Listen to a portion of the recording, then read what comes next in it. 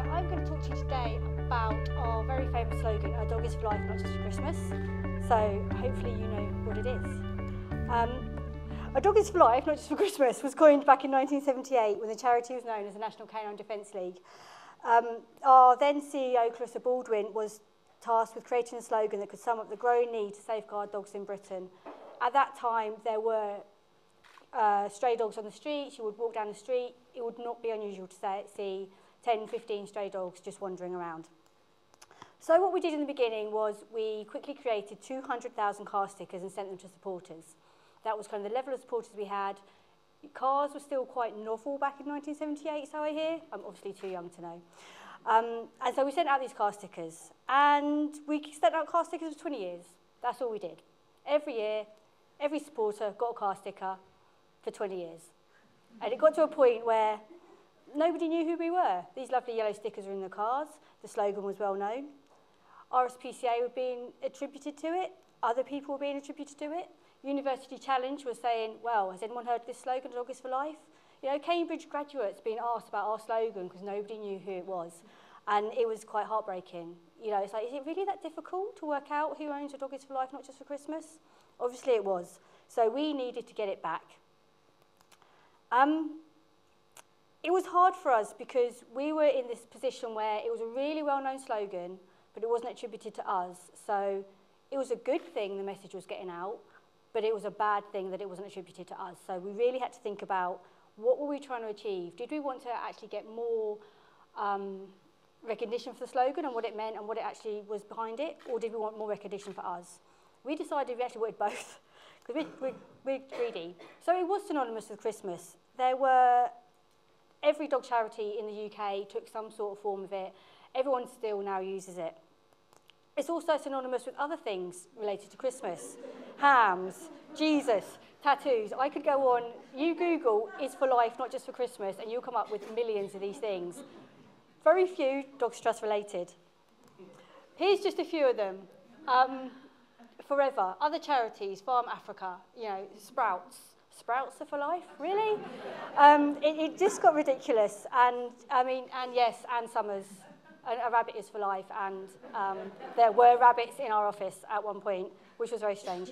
But as you can see, you know, so many famous other organisations were using our strapline. And again, we're in that very strange place, whereas it's great. People realise that stuff is for life and dogs are for life. But that, none of these are us.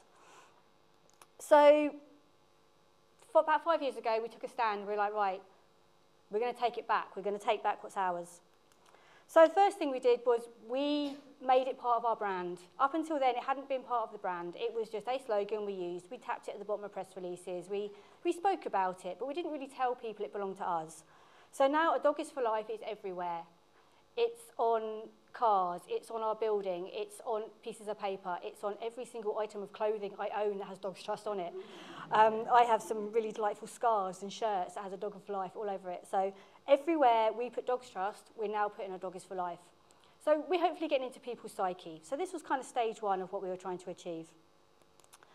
Stage two was celebrity endorsement. You know, get people that other people know to tell people that it's Dog is for Life. Maybe someone will listen. And I do have a short video.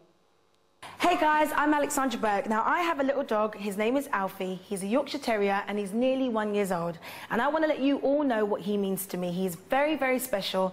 He is literally my heartbeat and he is only this big, but he brings so much joy to my life and others. So my message to you all is please think twice before buying a dog as a present and remember that a dog is for life and not just for Christmas. See you soon. So that was a campaign that we did back in 2010 and we got maybe 20 or 30 different celebrities, literally on their own mobile phones, so they didn't have to do anything, do videos like that. And we got them shared throughout our networks, throughout Twitter, throughout Facebook. Um, but still, we had comments, oh, haven't RSPCA done a nice video? Love that stuff that Blue Cross are doing. There's a great big yellow logo on it, and we really didn't understand why people were still misunderstanding who the attribution was. Um, what, what else could we do?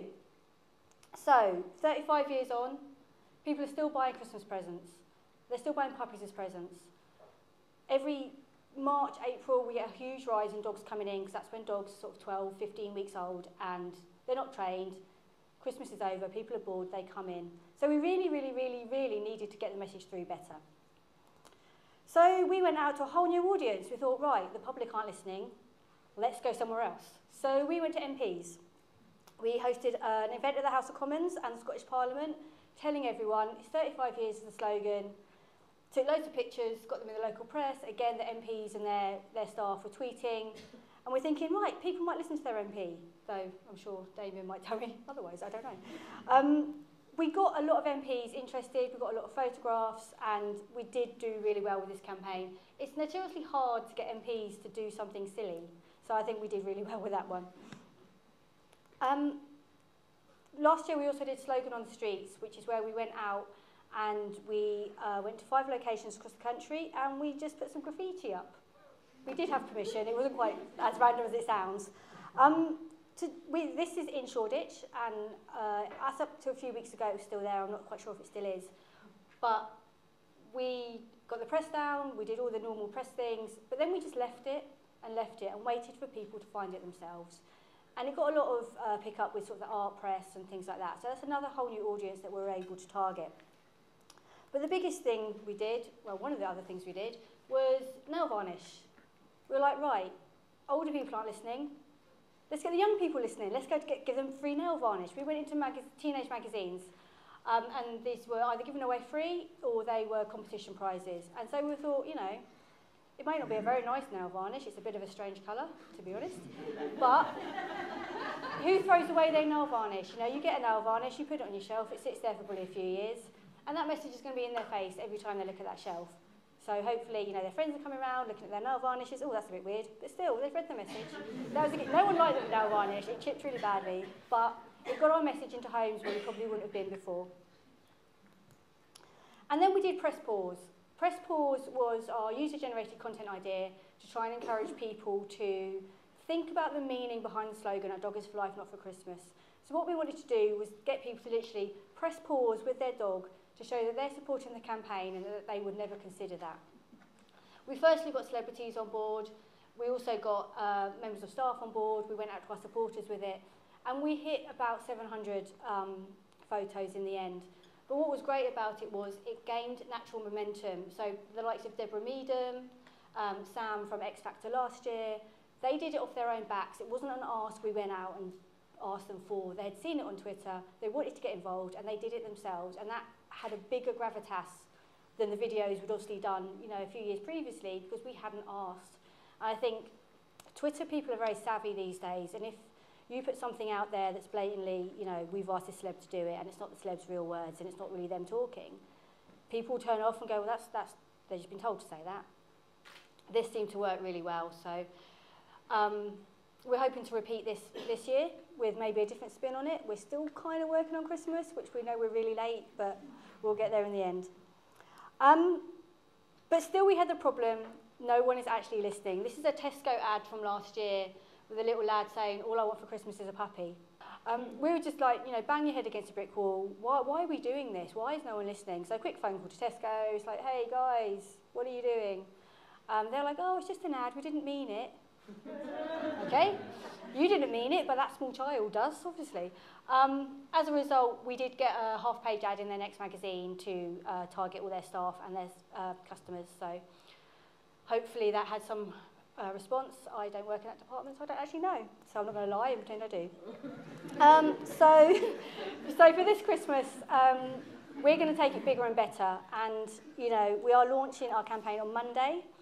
And I can reveal that if you're somewhere near St Christopher Street around 2 o'clock on Monday, there should be some fun things happening. It was going to be in Shoreditch, now it's moved. So, um, yeah, watch this space. But um, I hope that's been useful.